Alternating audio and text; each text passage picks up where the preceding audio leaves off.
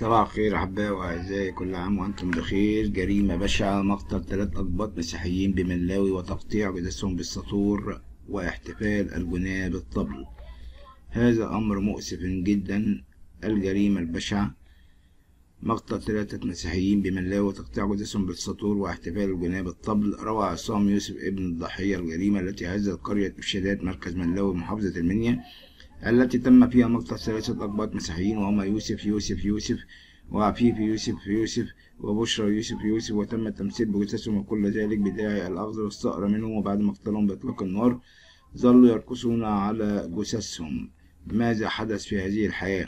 وأضاف عصام قائلا إن والدة والده وشقيقه وعمه تعرضوا للهجوم من قبل الجناة أثناء عملهم بالزراعات بالأسلحة الآلية ثم مثلوا جثثهم باستخدام الأسلحة البيضاء والسطور والجناة الذين فعلوا ذلك هم ستة أشخاص يقومون بقرية جعوير وقطعوا جثث المقتولين الأقباط بالسطور وعادوا إلى قريتهم وهم يحتفلون بعهد الصقر وأكد عصام أن والده وشقيقه وعمه لا, يعلم لا يعلمون بشيء عن هذا الصقر الذي يقول عنه الجناة وأشار إلى أن هذا الصقر وقع منذ سبعون عاما ووالده وقتها كان طفلا وما حدث لهم جريمة بشعة وحولت قرية أبشداد مركز ملاوي محافظة المنيا لصراخ وعويل بالأخص أن شقيقه متزوج ولديه ستة أبناء واختتم عصام أن أحد الجناة عندما ارتكبوا هذه الجريمة سلم نفسه للشرطة وقال لهم إنه قام بذلك مفرده وحتى ينتقم للصقر منه ولكن منهم ولكن أهالي قرية إفشادات مركز ملاوي محافظة المنيا شاهدون على أنه كانوا ستة أشخاص وما فعلوه دمروا ثلاثة أسر دون ذنب ودون أن يعلموا أي شيء عن الصقر. هي دي المنيا وهي دي الحقارة وهي ده الشعب المنياوي الشعب الحقير اللي ما عندوش أي نوع من يعني أقول إيه ما عندوش أي نوع من الإحساس ولا عنده نوع أي حاجة محترمة. يعني الشعب المنياوي أنا مش عايز أقول شعب لأن المنيا فيها ناس كتير محترمة لكن ال ال ال الناس السفلة اللي بيعملوا كده دول أكيد ما يعرفوش ربنا.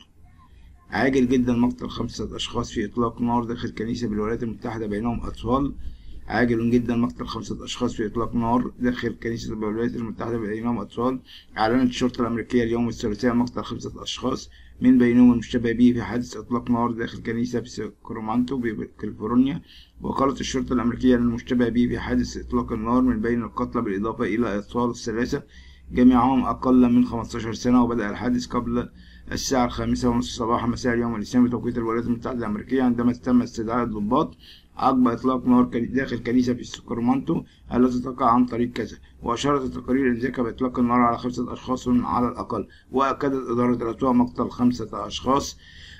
عدد الضحايا بينهم. طفل ولم تؤكد الشرطة بعدد العدد الدقيق للضحايا وقد نشرت أيضا جريدة الوطن عن تلك الجريمة. أب يقتل أطفاله الثلاثة ثم ينتحر في كنيسة أمريكية بالولايات المتحدة ويقتل خمسة أشخاص. قتل قتل أربع أشخاص بينهم ثلاثة أطفال. نتيجة حادث إطلاق نار في مبنى كنيسة بمدينة ساكرامنتو بولاية كاليفورنيا الأمريكية. وأشارت قناة سي بي سي الأمريكية نقل عن الشرطة المحلية إلى انتحار مطلق. النار ضحية خامسة لا تتوفر معلومات عنه. وقال مكتب شريف مقاطعة ساكرامنتو أن أبا أطلق النار وقتل أطفال الثلاثة داخل الكنيسة قبل أن يطلق النار ويقتل نفسه مضيفا أن هناك ضحية خامسة لكن لا توجد معلومات معروفة عنها. رحم الله مصر رحم الله كل من عاش بها. وخبر أخير وهو موعد زيادة أسعار السجاير المحلية.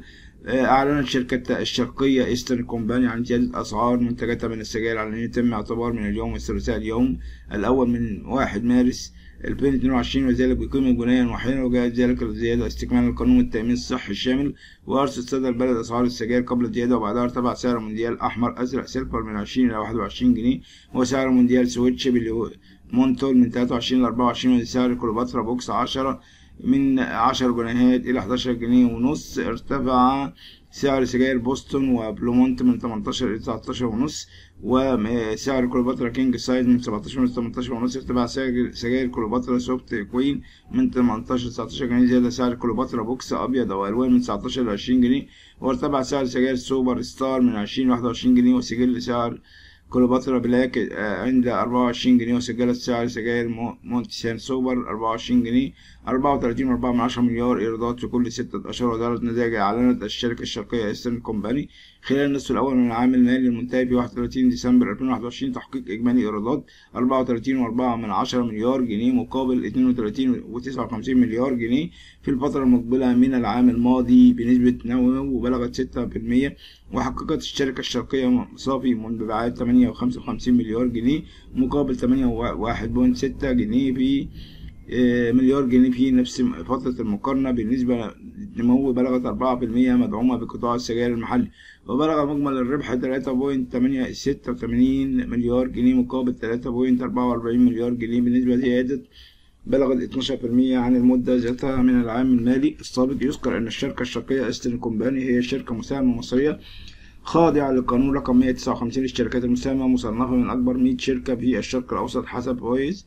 وتسعى الشركة من خلال سياسة الجودة إلى تحقيق التمييز والقدرة التنافسية والربحية العالمية لمنتجاتها وكسب رضا عملائها بكافة الأسواق المحلية والخارجي وهذا نقلناه من صدى البلد والشيء المحزن. من الشيء المحزن؟ أيضا الرئيس السيسي يتحدث بانفعال عن منتقدي تطوير المنظومة التعليمية الرئيس يتحدث بانفعال عن منتقدي تطوير المنظومة وجه الرئيس عبد الفتاح السيسي رسائل للجميع قائلا عشان أعمل شارع بنشيل ألف بيت يا ريت ننزل المرج والمطرية ونشوف الدنيا. وأضاف الرئيس عبد الفتاح السيسي خلال إطلاق المشروع القومي لتنمية الأسرة المصرية إنه عندما تدخلت الدولة لعلاج وحل مشكلة التعليم الدكتور طارق شوقي وزير التربية والتعليم خد على دماغه لما مات. وكشف الرئيس أن الدولة بها تحديات كثيرة في التعليم والصحة وكل شيء مؤكدا أنه عندما عرضت عليه قوائم الانتظار. كان العدد 10000 وتم علاجه من القضاء على قوائم الانتظار مشيرا أنه خلال الثلاث سنوات الماضية تم علاج مليون وستين ألف شخص. وأضاف الرئيس عبد الفتاح السيسي خلال إطلاق المشروع القومي لتنمية الأسرة المصرية أن الدولة واجهت تحديات كثيرة وكشف أن هناك أحد المسؤولين في بلجيكا كان يتحدث معه قائلا أنا قلت له النتائج بتاعتك كام وعدد سكانك كام؟ فرد 500 مليار دولار وعشرة ملايين. مواطن متابع السيسي فقلت له أنا محتاج خمسة تريليون دولار لأن عدد سكاني لأن عدد سكاني مية مليون وعشان مش معايا الفلوس دي الناس في مصر مظلومة ومش بتاكل كويس ولا بتتعلم كويس. هي دي حقوق الإنسان قبل أن يتحدث. وانفعل الرئيس عبد الفتاح السيسي على الهواء وقال لازم أي حد قبل ما يتكلم وينكد على الناس في المنازل ويعرف الحاجات دي. كمان علق الإعلامي عمرو أديب المنافق الكبير على كلمة الرئيس السيسي في إطلاق المشروع القومي لتنمية الأسرة المصرية وهو ده المشكلة يا ريس إن أنت وراك ناس إعلاميين يعني ما وراهمش غير الطبل عشان يكسبوا من ورا سعادتك ومهما كنت حضرتك بتعمل شغل كبير ما بيبانش بسبب لأن في حاجات كتيرة قوي الناس بتضللها ويا ريت تكون انت زي المرآة تظهر كل شيء زي ما كنت بتعمل في الأول وأكتر. وقال اديب خلال تقديم برنامج الحكاية المذاعه عبر فضائية أم بي سي مصر الرئيس السيسي قال كلام تاريخي عن ربط التعليم بسوق العمل. إحنا بقالنا سنين نتحدث عن إن الناس اللي بتدرس تكون مناسبة لسوق العمل.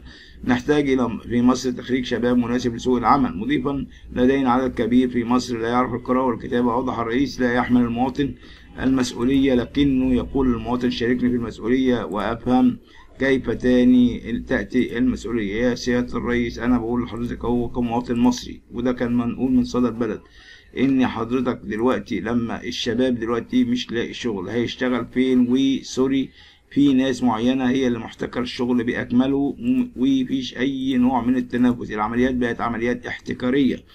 أرجوك يا سيادة الرئيس كما كنت واقف بجانب الشعب المصري خليك واقف أكتر ما تسيبش بلدك خليك محافظ على مصر. مصر محتاجة لك مصر محتاجة لكل شيء.